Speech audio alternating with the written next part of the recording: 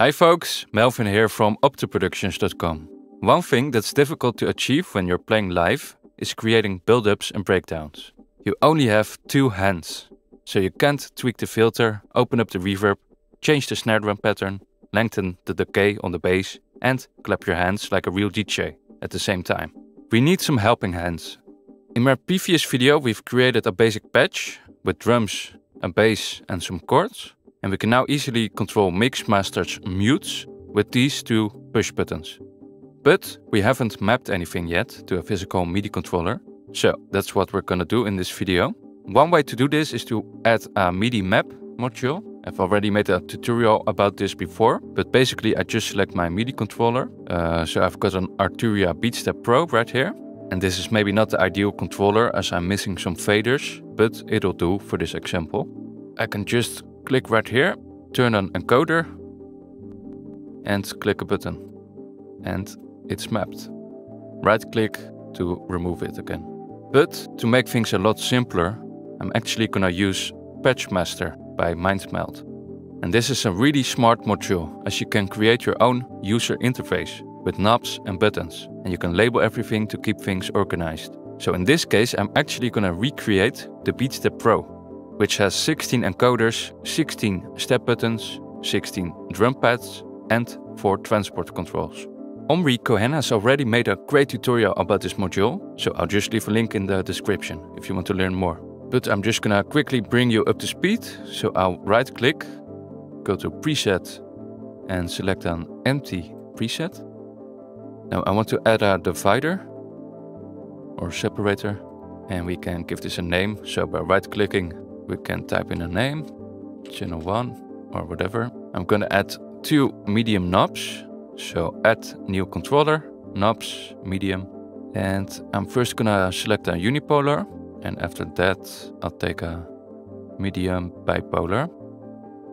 You can always change this by right clicking on the knob. Well, not on the knob itself, but right besides it. And then we can change the mode here. Okay, then we're gonna add two buttons. So two toggle buttons, uh, latched in this case. I can just right click and select uh, duplicate.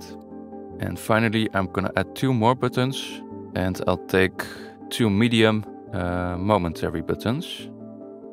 Oh, oh damn. I just pressed undo. Okay, that's not a smart thing to do. Alright, let me skip ahead. By the way, you can also hover your mouse over a controller and press Shift D to duplicate. Now when I duplicate this thing 8 times, I get all the buttons from my Arturia Beatstep.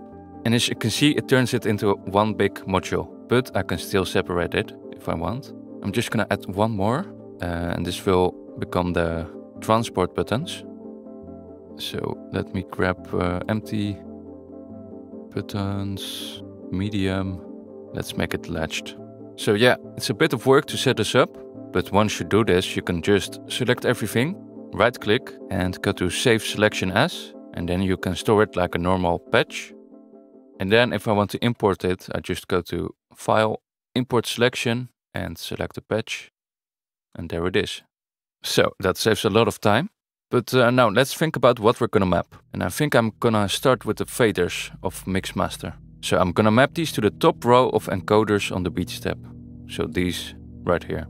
I just right click on the gray area besides the button and select start mapping.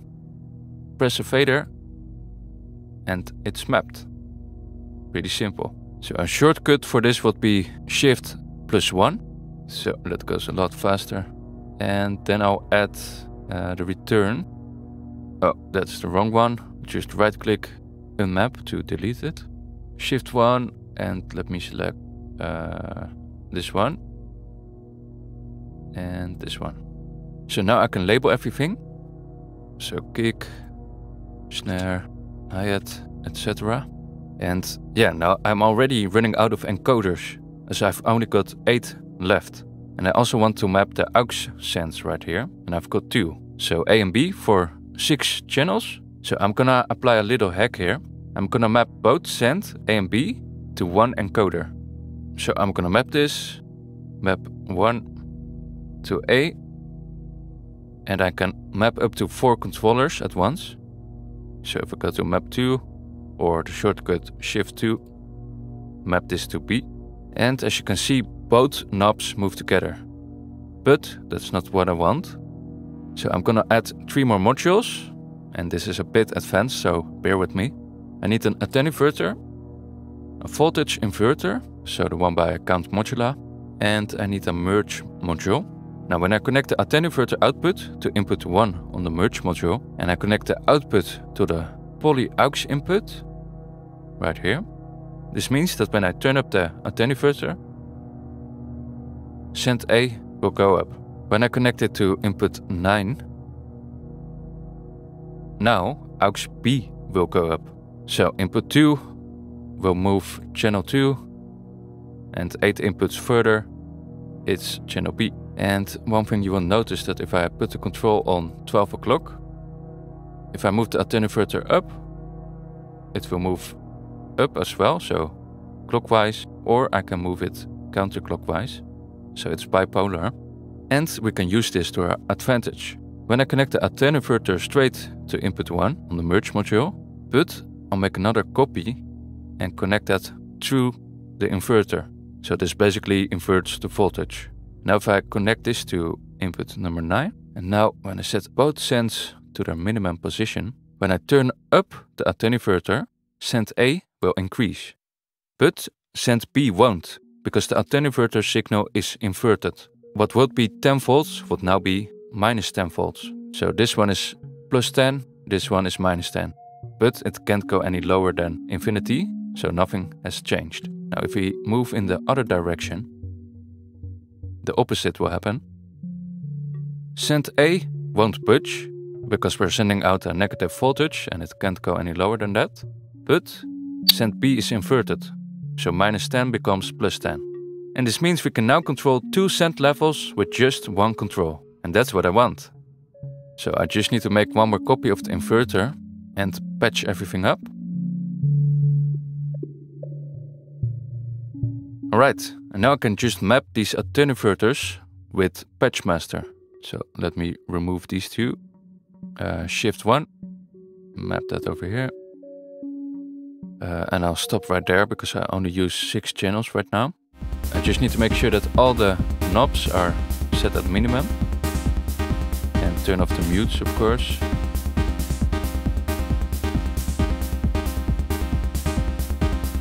So when I move it up, got a reverb. When I move it down, I got a delay. Pretty cool. It took me a while to figure this out, but I'm glad it works. Okay, so we've got faders and we've got sends. Now let me map the mute buttons. And I'll use the step buttons on the key step for that. So these right here. And you know what? I'm just gonna label this first. Called mute. And I'm gonna copy this controller. Right click, paste controller or shift V and now I can map it.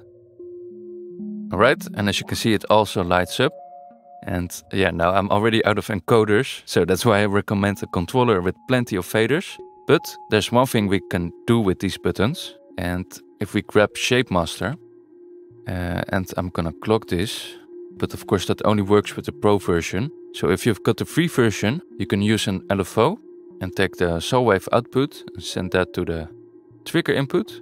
And then you can change the trigger mode right here to CV playhead. And now I can clock this LFO. Of course, I just need to connect the output. Uh, let's map it to uh, right here. Uh, wait, let me take another output. Yeah, that's working. So yeah, that's a workaround, but I'll just use the clock input since that's a bit faster with multiple channels. Uh, oh, and I need to use uh, 48 pulses per quarter note for that. Yeah, and instead of this uh, basal, I'm gonna send this to the filter cutoff. So for the chords, for example. And I already added a CV mixer because this one only has one CV input. So let me take this connect that to the CV output. Okay, so when I press play on Shapemaster and enable the clock, Uh, I still need to activate clock sync. Oh, of course I need to put this back to automatic. Okay, so this is changing the filter. Right, now I'm just gonna map the play button over here to uh, Patchmaster. Let's label this chord filter. Now when I press this button, I can automate the filter. Now if I change the length to 8 bars, it ramps up over a period of 8 bars, before quickly ramping back down again, which is perfect for build-ups. And I'm actually also gonna send this to the, the decay time. I've already made a CV mix, even adjust the curve. And let me also turn down repeats to 1, so it only plays once. Okay, cool. So this is really useful to just press one button, open up a filter and have your hands free to tweak other stuff. After you've mapped everything to Patchmaster, you still need to make the connection between your hardware controller and VCV rack. And that's what the map module is for. So just move a physical controller and click a button. Next control and go on like that. One thing you may want to check is that some MIDI controllers have an editor, like the BeatStep has, and some of these buttons were set to gate. Uh, and the mute buttons, for example, I want to toggle. And the drum pads were set to uh, MIDI notes instead of CC values. So I had to change that or things wouldn't work. So yeah, that's uh, something you may need to check for your controller. So I can just uh, store this on the device and then it should be set for the next time. Alright, so I mapped everything.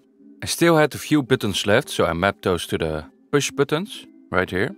I also went ahead and added some more shapes. So I've made one for the bass filter and this also opens up the mod. I've made one for uh, the delay feedback with a length of 16 bars. And this one repeats, so I can just turn it on or off when I want to. And one for the reverb, uh, so the decay time. And then I still had the drum pads left over, so I mapped these to the snare drum sequence. So now I can just enter in notes, which of course is a bit overkill because the BeatStep Pro is a sequencer, but uh, just to illustrate the point. Yeah, finally I had two buttons left, so I mapped those to the kick length and the hi-hat length. And I used an attenuverter for that.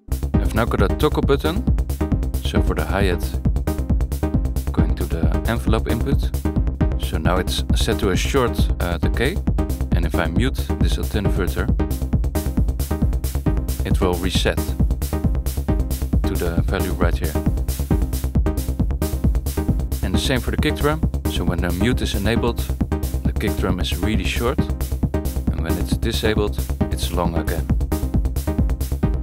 And oh yeah, the play button is uh, mapped to the run button. Alright, I hope this gives you some inspiration to have a go on your own. Now let me finish this video with another quick gem, showcasing this little setup. Thanks all for watching, let me know if you have any questions and I'll see you next week with another tutorial.